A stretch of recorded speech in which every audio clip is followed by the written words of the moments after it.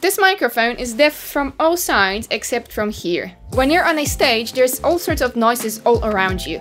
Your fans screaming in the first row, your bandmates rocking out on your sides, but the only thing that you want your microphone to pick up is your own voice. So we built the MTP W950 so that it picks up only your voice and rejects everything on the sides and on its back. Here's how it sounded when we put it to test during a real live concert. Let us know in the comments what you hear in the background.